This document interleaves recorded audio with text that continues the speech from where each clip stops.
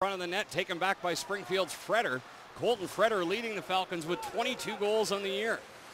Hershey has three 30-plus goal scorers. Lingley shooting and a save made. Rebound. Scores!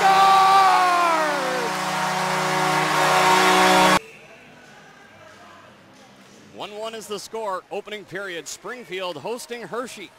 Taylor getting it down deep. Played around the wall to the left point. Arsene shoots and scores!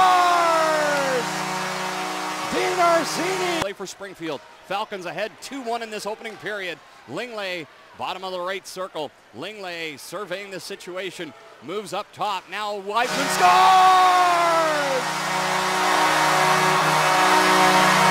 Lavasser, right wing pass, and Fretter in across the blue line.